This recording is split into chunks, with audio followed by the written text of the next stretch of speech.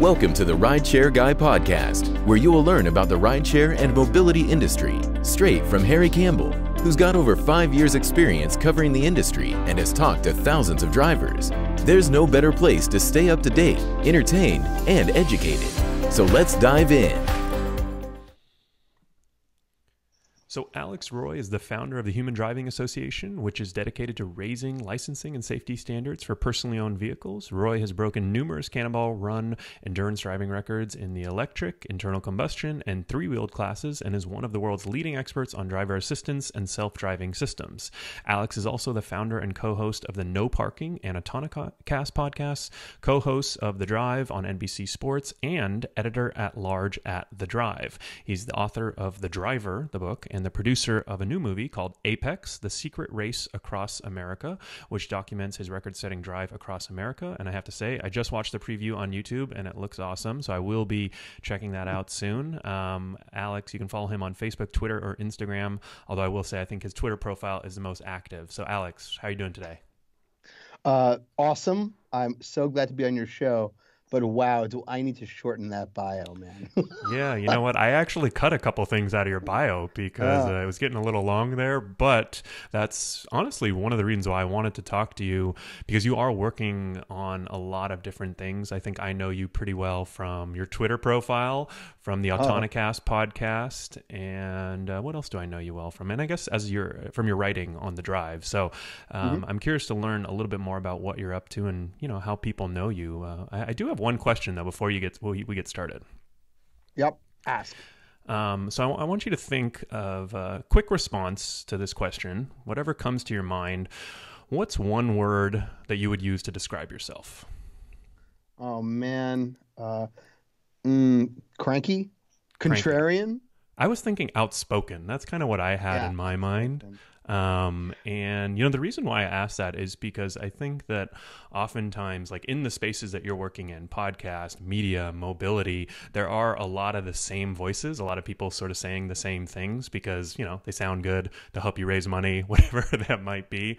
But you tend yeah. to always have a different take. Sometimes, I think, I wouldn't say it's sometimes unpopular, but I think that it's sometimes just different. So, uh, how did you get to be the way that you are? Is that a loaded question?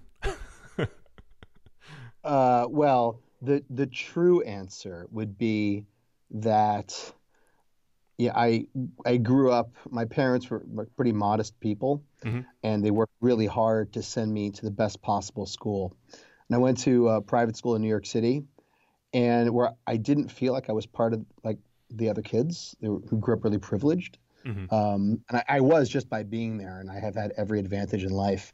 But uh, my father really believed in like kind of like fighting for like what's right. Like mm-hmm. he always spoke his mind, and I I just became like that too. Uh, and so, as someone who loves cars and driving, um, you know, the rise of autonomous vehicles and like Uber and all the things that have been happening in the last few years, it just became really clear to me that there was a lot of a lot of noise and not a lot yeah. of signal. And so when you know when Tesla, uh, I remember the first time I heard of Tesla and the first time I heard of Uber, mm-hmm. and the first time I heard of Uber, uh, it, it, was used as a verb, and I knew something was different.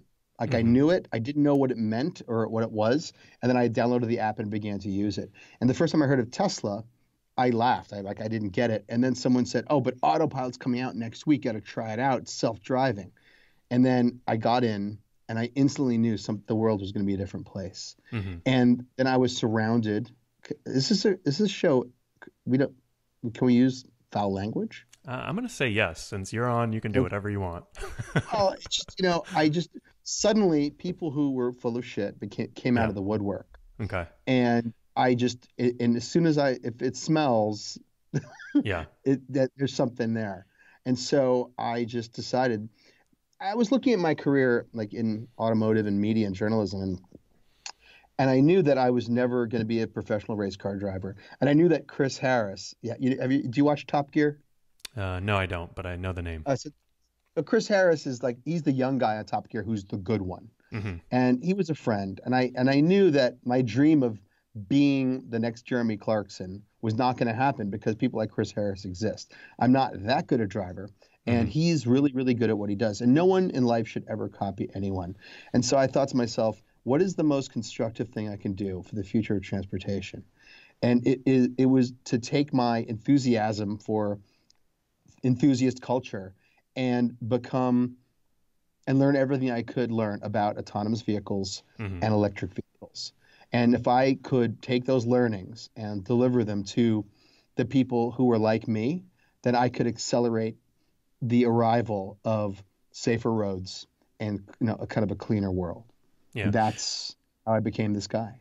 Gotcha. And I mean, I, I think that's actually a good description because that's sort of how I, when I think about Alex Roy, the person, that's what I think about. A car enthusiast, you know, has done all this cool car stuff, which we're going to get into the Cannonball record and all this, which, uh, you know, I, I know the gist of, but I don't know all the details. And that's why you're on today. But you know, recently it seems like you've become, you know, maybe your passions still lie in the OG automotive space, but now you're talking all about uh, Tesla and, you know, even Uber and Lyft and the future of mobility. So was it sort of just a natural pivot, you think, or you think you just saw other people weren't doing a good job and you kind of wanted to take that role? Or how, how'd you think about. I mean, kind of shifting what you're known for?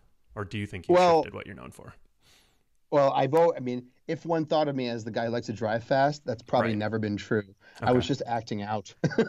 um, I feel but, like I saw I, you referred to somewhere as like the bad boy of uh, car racing or something, the bad boy of driving, something like that. I don't I was, know who said that. I was that, the bad boy of a lot of other things previously in my life.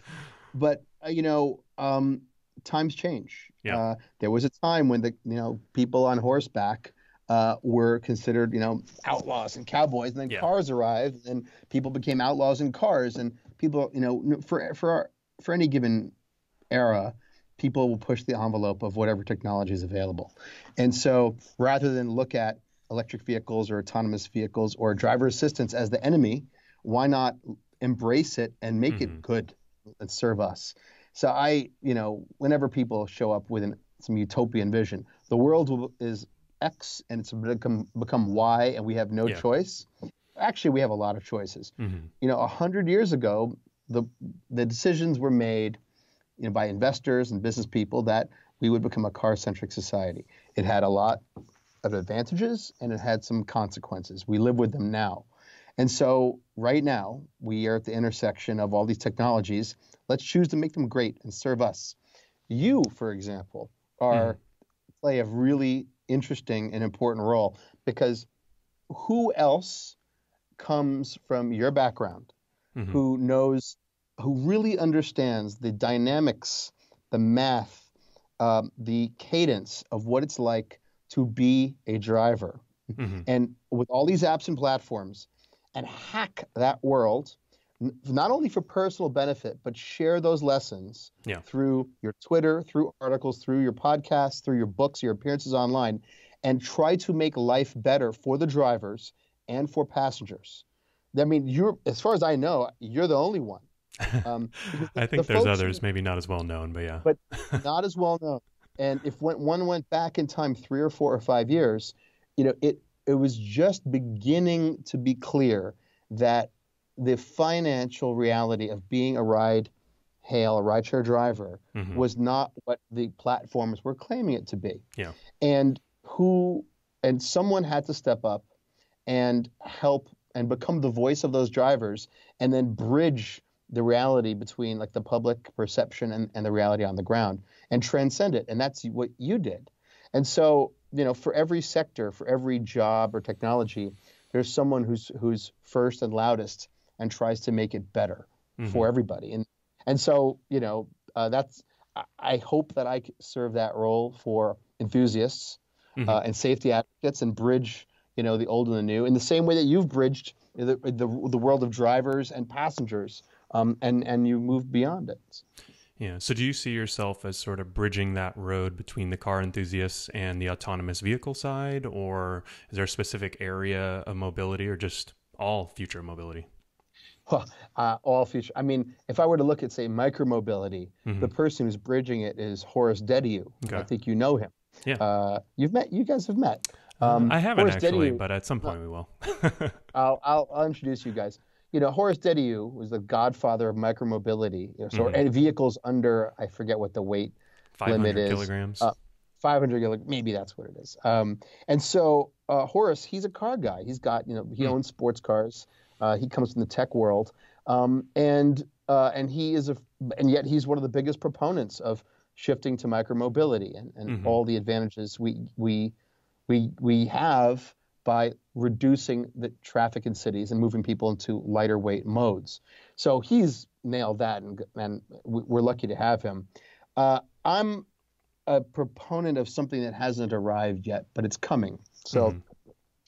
you know, for all the benefits, and I absolutely believe that eventually, uh, you know, autonomous vehicles, driverless vehicles, yeah. will be demonstrably safer than certainly than the average driver. Yeah. Um, and most people are average. That's the definition of the word. that even once that happens, it's going to take many years for you know uh, level four autonomous vehicles to propagate across the majority of urban centers. You know, mm-hmm. in, in, the, the developed world. And so, in between now and that and that ubiquity, um, that we have an opportunity to make the roads safer through better driver assistance. And so when I say we have a choice, um, I'm going to quote my friend Josh McManus, who's a great urbanist thinker. We, we, we, people can't be forced to use technology. They need to choose. They need to vote for it. Yeah. And so autonomous vehicles will arrive by a combination of cultural and political shifts. People need to vote for it, which means they have to choose it. And and I think that's going to happen. I think it's inevitable. But in all the places where autonomous vehicles have not yet arrived, we have a choice as to what kind of driver assistance will be available. What kind of cars do we want to buy? Mm-hmm. When, while they still have steering wheels, there are going to be many forms of driver assistance. And what yeah. will it look like? Will it be like we have it today, where mm-hmm. we have traction control and ABS and um, and some lane keeping? It, will it be uh, something we can override? which is what happens today. So, it, you know, it, driver assistance makes vehicles safer, but how much safer? And can you override it? Or will it be something that constrains us? And, you know, that is going to be very look very different in China than it will in Europe and probably than it will in the United States. Yeah. And so I mean, these systems are just starting to percolate now. Yeah. It's sort of like the messy middle in between this future of you know, autonomous vehicles that work perfectly and get you everywhere for next to nothing and what we have today, the reality, you know, and I think that's one of the things that I wanted to talk to you about because right now you have a lot of people saying, oh, here's what it's like we'll be in the future and when everything is, you know, hunky dory. Um, but the reality is right now, you know, these things aren't even close to operating or existing and where they are. It's very small scaled. And I think you and I probably both make this joke on Twitter a lot whenever we see something that refers to a self driving car, autonomous vehicle. I always say, I'm going to not read this and you know assume that there was a safety driver in it oh, for the yeah, most part. Yeah. Um, but it's like that messy middle in getting from point A to point B. So it sounds like that's what you're. You know, there's a lot of challenges, but also a lot of opportunities, and that's kind of what you're passionate about. Absolutely. I mean, look, I, as someone who wants to drive, it would be so much better if people who didn't want to could get into autonomous shuttles and mm. trains or take micromobility. You know, the more people who don't want to drive, who choose more efficient, lighter weight modes, um, the clearer our roads will be. Mm-hmm. And that's good for people who want to drive. And, yeah. you know, I'm both uh, a safety advocate and I consider myself kind of a liberal person, but in other ways, I really believe in the market. You know, if, uh, if, if we, ha- if we priced in all the externalities of car ownership um, and, you know, priced in or the cost of street parking into mm-hmm. our cities. And there was there were mechanisms that allowed people to actually pay the price for their choices. We would have probably much safer, better cities. Yeah. And so on the on one side you have the war on cars, people who hate all cars, and on the other side you have people you know who are, want to invest in roads and not trains. They're all wrong.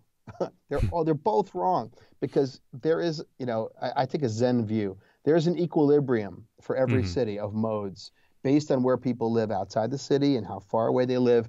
There's an equilibrium of, of modes, and if we gave people better choices, they would choose them. Yeah. Yeah, no, I like the way you put that for sure.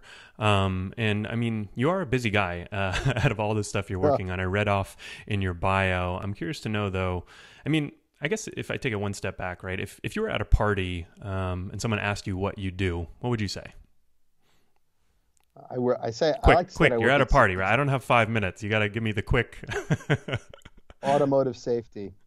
Automotive safety. That's your thing. Absolutely. Yeah, that's what I would say. Okay, and I mean, I say my life is complicated.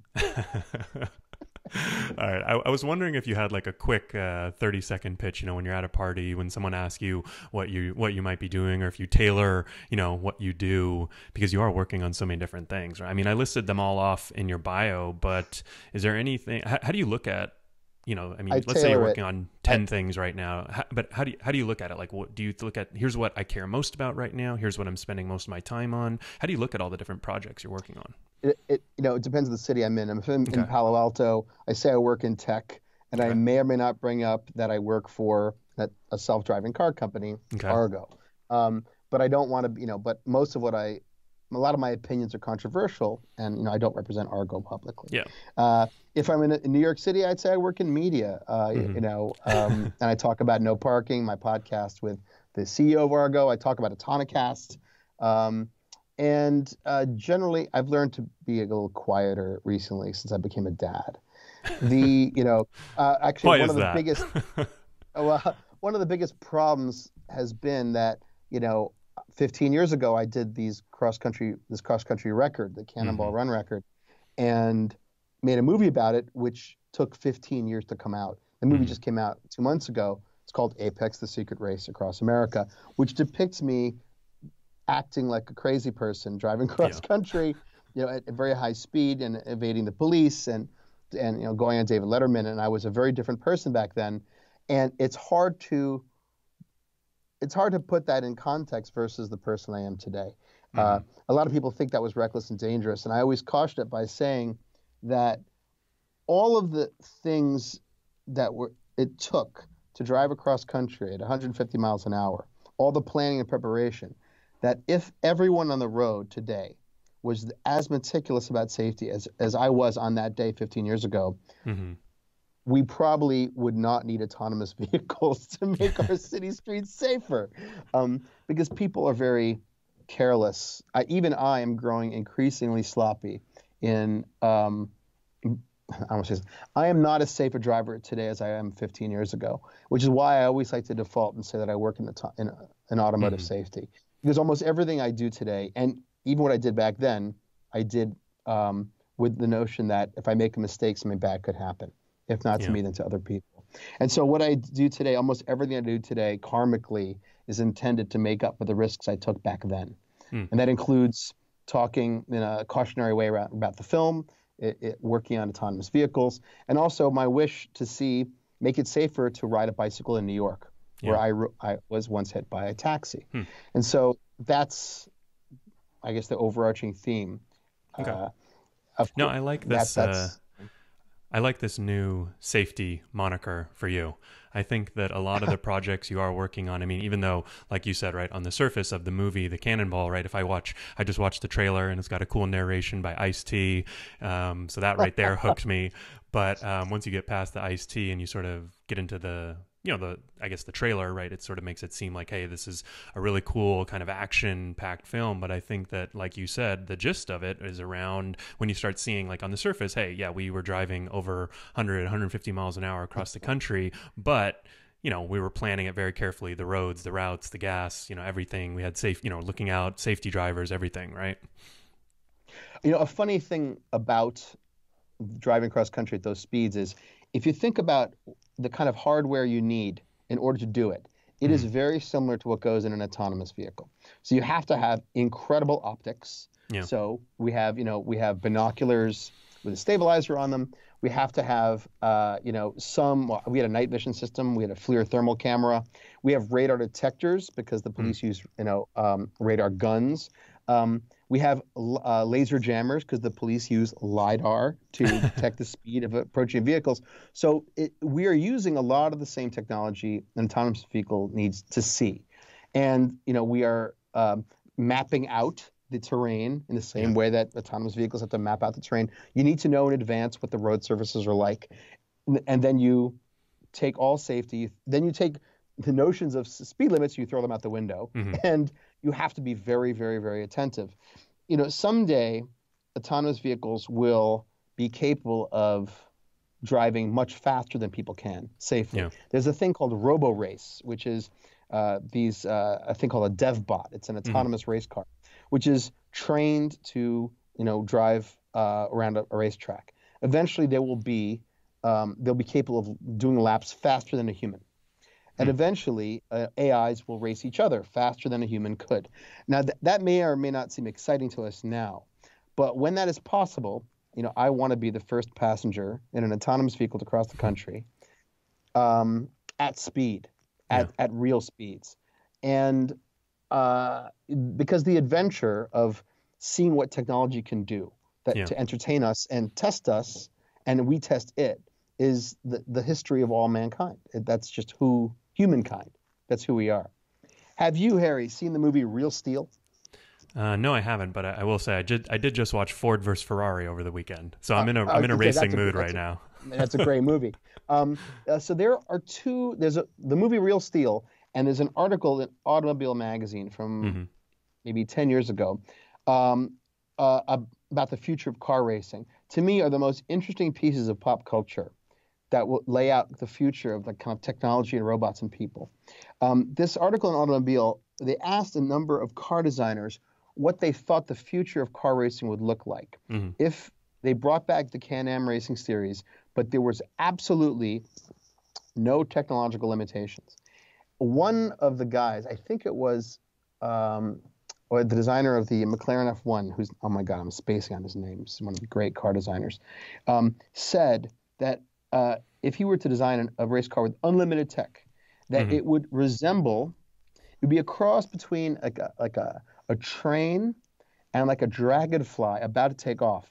Hmm. That it would be articulated like a like a caterpillar, mm-hmm. and that it would be always on the edge of liftoff and the edge of grip. That the driver would have only one control. It would be a rocker switch, left and right, and that the vehicle would be programmed to lap at the fastest possible speed and the at the most optimal course. And all the race driver had to do was select a, have a bypass, pass left or pass right. That if it encountered anything that the AI could not decide how to pass, the human would decide. Hmm. And that is, and then he said the human had to be on board because without risk to the operator, there is no racing, which is mm-hmm. an interesting way to look at it. In the movie Real Steel, uh, has Hugh Jackman in like this kind of father-son story in the near future where boxing is banned because it's it's hmm. barbaric. Mm. And instead, robots box each other, and they have AI that determines you know, attack and defense. And in the film, they have the underdog robot uh, that you know they find in a junkyard. that its AI is just good enough to win to win uh, matches against much better robots. Mm-hmm. But at one point, um, it is losing to a much superior robot, and so Hugh Jackman puts on a uh, like a, a remote control like head unit and so the he lets his his underdog robot use its defense to to block, but the human steps in to manage attack. Mm-hmm. And this combination of robot and human wins against a yeah. superior opponent. And I think these two, and that this is an interesting path forward for us in cars and in all society, that there are things that AI will do better. Yeah. And in those cases, we should take advantage of it. But where humans have a place, you know, spontaneity and creativity, the humans need to control the machines. Yeah. And like when you your work about drivers and Uber and how to make a living, mm-hmm. you know, is really, really, really important because the fact that you and other drivers learn the details of how the Uber and Lyft platforms work, and I don't want to say exploit or hack, but manage them and overcome the limitations to do better, to make a living, to create, is exactly the model for how we should manage all technology. Yeah. Well, I think there's actually a lot of examples in new mobility of that type of hybrid technology that I think are much more feasible than others, whether it's, you know, like uh, truck driving with, you know, like the, the AI does sort of the long stretches where nothing really goes wrong for five hours on a right. highway. And then once, once you get into a city, you know, a human teleoperator or an actual human hops in the cab and does all the, the hitch and goes and all the complex stuff that they do there. Or even, you know, like the little self driving scooters, right, that have a teleoperator, right, that can you know, mm-hmm. they can mm-hmm. go autonomously at low speeds, but if they run into any issues, it's not that big of a deal. It's not time sensitive if a teleoperator comes in and takes over, um, you know, to uh, avoid a tricky situation. So I think there's definitely something to that hybrid uh, nature of AI of and humans that I think is probably a lot more realistic than it maybe isn't the best narrative or the sexiest headline, but probably a lot more realistic. It is. I mean, look, these th- these problems, these limitations will get solved. The mm-hmm. big problem, and this is, I guess, I've made my name in it, is people who who exaggerate mm-hmm. um, for press or for investor money or whatever. So would this be companies or media or both? Well, the, me- the, the media, the media, you know, the media, they they get paid for not often if they're paid for clicks, they'll probably, you know, put out a lot of clickbait. But mm-hmm. things like the information.com, you know, subscription media do good work. Uh, and but of course, you know, um, a lot of startups just pot air and they suck the air out of the room for the companies doing real work. And that's that's too bad. A lot of money flows to companies that um, haven't figured it out um, mm-hmm. and don't and are just trying. You know, a lot of some some founders they just want to exit before the problems have to be solved. Gotcha. And you've seen this. You know what I'm talking. I mean, yeah, well, it, I mean, I think I think that's the. I, I, was sort of you know wondering like what's. I, I guess two questions, right? I mean, wouldn't you kind of expect those founders to do that? I mean, it's kind of in their best interest to make whatever you know, whether their product sucks or it's great. That's in their best interest, right? To sort of blow as much hot air to investors to try and raise as much money or to try and exit at the highest valuation, and you know, sort of take advantage of that, right? Like, would you expect something different? Uh, well, you know, there are founders who have are honest, who build real companies, and then move on to build another one, and another one, and another one in a constructive way. In mm-hmm. I, I mean, if one is if one can be a patriot, one should be patriotic for an America mm-hmm. where anyone with a great idea can come and learn and share and teach and raise money and invent and build a company that benefits not just shareholders but society as a whole. That's the best that's the best of america. Yeah. And then um, there's many examples of it but then you also have you have predatory lousy shitty hollow um, you know uh, america. Ideas. And that is uh, well you have there's good ideas with people who don't care whether they work or not mm-hmm. who want to get in and get out before anyone shareholders customers investors ever get back a cent and, and sometimes never do uh, there are people for whom who are forgiven because they made a good faith effort and they move on to create real value and, and a better world.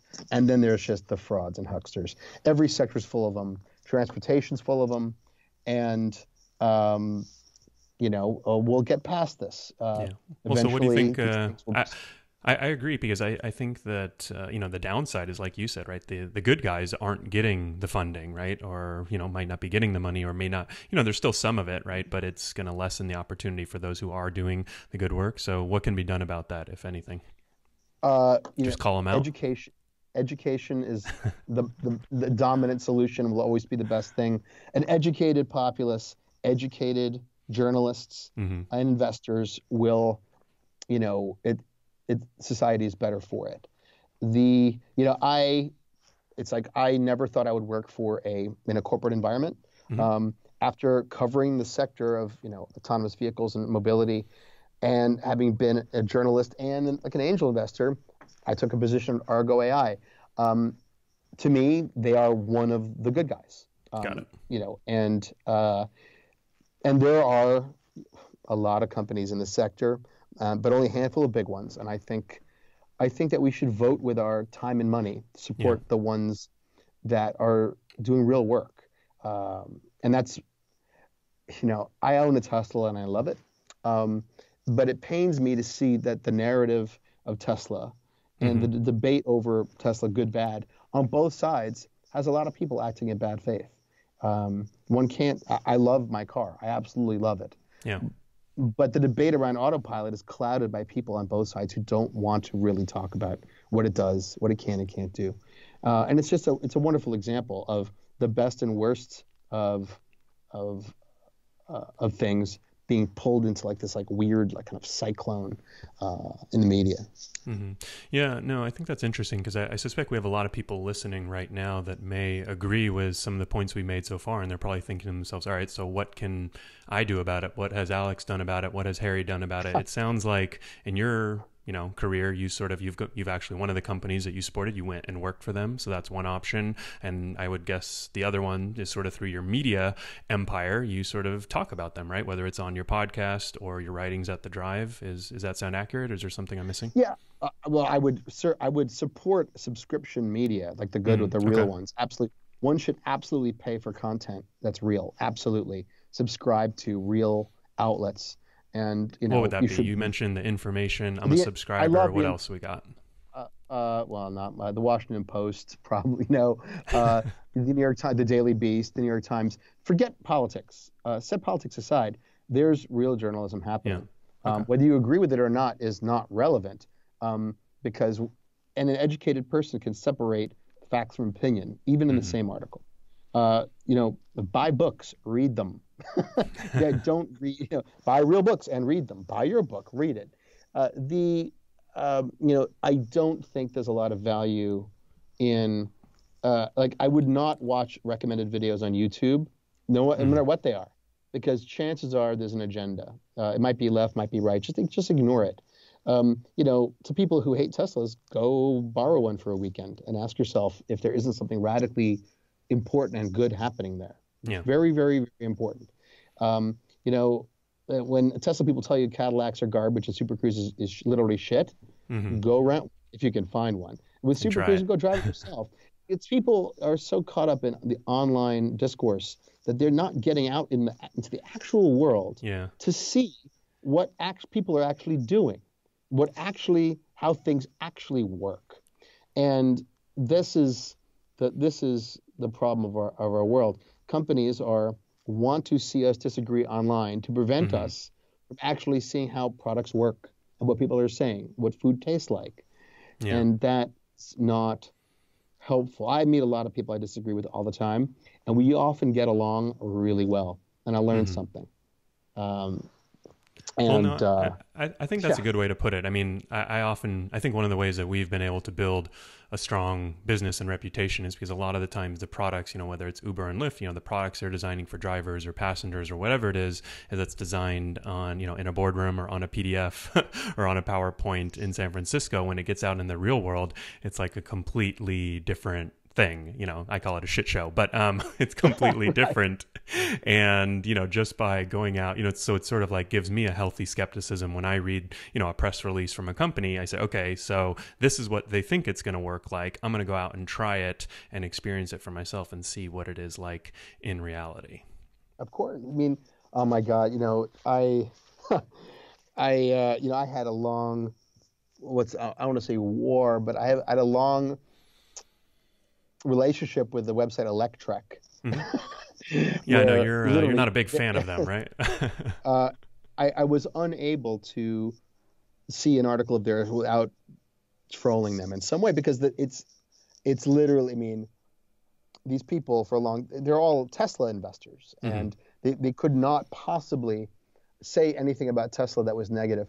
But um, what was most interesting about it and uh, about them, the editor in chief Fred Lambert, you know, uh, I don't want to trash anyone today, but a perfect example of, of the problem in the world, it, eh, one of the problems we have in, in the world in media right now is um, technology is not binary. Mm-hmm. It isn't good or bad. Um, it, you know, technology, it, it, it's like water flowing down like a hillside, like it, it's channeled. It's channeled by what it finds in its path mm-hmm. and eventually gets to the bottom. And and what we put in its way and how it's channeled, you know, shapes that path. And so, you know, there's a debate about um, driver monitoring systems. You know, mm-hmm. should we have cameras in vehicles? Yes or no? What should they do if they see someone nodding off?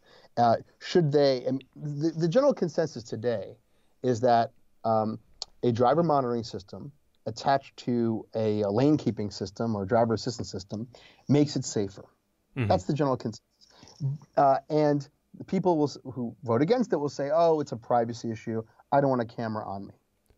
And then there's a, and they might also argue, well, you know, if I have to pay attention, um, well, what's the point of having lane keeping at all? Which is yeah. kind of a weird argument. But what no one will say is, well, if if my car has driver assistance and I'm not using it and I'm nodding off, why doesn't the driver monitoring system um, trigger its activation?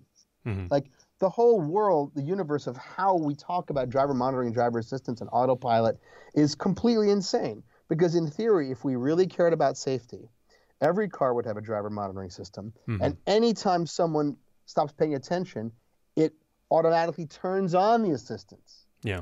And yet we are not in that world at all. And it's because we are we allow ourselves to we allow the discourse and the debate to be de- decided by others. Yeah. So when a site like Electrek says, "Oh, we don't need driver monitoring systems at all, and autopilot makes us safer," without discussing the alternatives, we are shutting out a universe of invention. Mm-hmm. And, and, and the world, people we, we we talk about people are dumb, you know, Americans are stupid, like you know we're all victims, but that's not true. Um, we can, anyone can choose to look at what they're being told and say, maybe there's something else I'm not hearing, mm-hmm. and go look for it. And when you find it, make your decision, make up yeah. your mind. Cool. That's why what you do is important. So. Yeah. Well, no, I appreciate it. And I think that your insight is uh, definitely refreshing. So I don't want to keep you for too long. So I've got maybe one or two more questions yep. for you. Uh, you know, we've touched on a lot of uh, the stuff you're working on, the movie, your writings, um, your thoughts on the uh, mobility media landscape. Um, mm. out, of all, out of, I guess, out of all the projects that you're working on right now, we already talked about the movie, but um, you know, in depth, uh, what's most rewarding for you? What do you sort of like at the end of the day, or end of the week, or end of the month? The thing that you worked on, where you're like, wow, I had the biggest impact on the thing that I care most about. Which it sounds like to me from our conversation so far is sort of driver safety and the advancement of uh, you know technology that helps with that. All right, so I'm absolutely going to plug my new podcast um, because it, it's called No Parking and it's with Bryan Salesky, the CEO of Argo. But the the reason it matters to me is that I have actually genuinely learned something new mm. along with the audience on several episodes. Mm-hmm. And, I'll, and I'll give you a couple of examples. Sure. Because this what we're trying to do. You know, people ask when autonomous vehicles will be quote unquote safe, when they'll be ready. And I actually don't buy the argument that that's a number, like that you'll there'll ever be that we, you'll ever have a, a number which will convince mm-hmm. anyone to get in because we still get on planes, stuff yeah. happens. You know, we get on ships. Stuff's we, always going to happen, we, right? Yeah, we get into we get into Ubers and Lyfts with strangers driving we don't know. Yeah, trusting that they want to live and therefore we will too. That's insane. And so you know, I I had a chat with Bryan um, and I said and and and he he said you know we need to talk to people on the ground and learn about what trust is. Like, mm-hmm. why do we trust each other? How do you trust a machine? And so we began looking for guests that would have real conversation with us in the cities where you know he wants to deploy self-driving cars someday, and and we had a, and there were really there have been a couple of people I met through the show that really like changed my life. Mm-hmm. Uh, one of them is a guy named Yaz Shahab. He has an autonomous dentistry startup, and and he said, well, well uh, yeah, you know this uh, this machine will do it'll clean your teeth. It's a robot mm-hmm. that will clean your teeth. And Bryan's like, "What are you insane?" and that's Bryan, who's you know one of the the world's top experts in autonomous vehicles. Mm-hmm. And and and so that was interesting because Bryan's calculus of what it would take for him to trust an, a, a robotic dentist was, you know, very much like how someone who doesn't know anything about autonomous vehicles yeah. would ask about getting into a car. The other one was Red Whittaker. Uh, this guy is like the, the, one of the world's top robot builders, mm-hmm. and he's worked on many net disasters where robots were necessary, like the Chernobyl.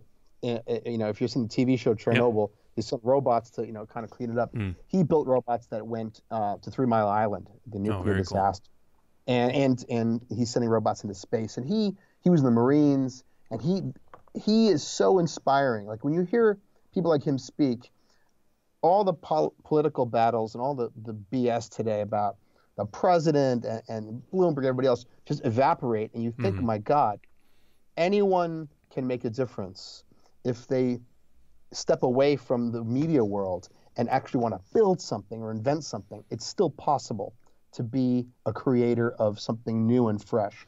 He was so inspiring. And the last one is a guy I've met recently named Josh McManus, mm-hmm. who was an urban theorist, and he talks not just about um, you know we have to vote for autonomy, but he talks about uh, the the inventor uh, Buckminster Fuller. Have you heard about, about yeah. him? Bucky Fuller invented a number of things, buildings and the the Dymaxion vehicle, and he, his nickname was Trim Tab, and it's on mm-hmm. his tombstone. And a trim tab is, uh, you know, a control device which uh, creates low pressure behind it, so it allows people, it allows a, a machine or a person to make a, you know, a gentle um, change, a mild change that can have enormous and consequential um, mm-hmm. uh, differences over time. Uh, it's uh, the way McManus describes himself as a deliberate comprehensivist, mm-hmm. and I guess uh, that he is kind of a human trim tab. And I thought this was really inspiring and, and, and kind of made me a lot more optimistic for the world. There are yeah. people making a difference, not a political difference, but like a difference on like a on a mass scale, but from outside politics. Mm-hmm. And I think it's a really important point of view. Very cool. Yeah, no, and I think we'll uh, we'll definitely link uh, up to those three episodes and uh, your new podcast, the No Parking Podcast, one of the many projects that you're working on. And uh, as always, great chatting with you. Uh, if people want to get a hold of you, what is the best way? Twitter, go to the No Parking uh, Podcast, go to Argo AI.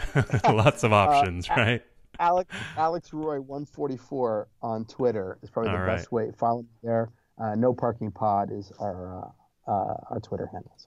Very cool. All right, Alex, appreciate it. Sure. Thank you.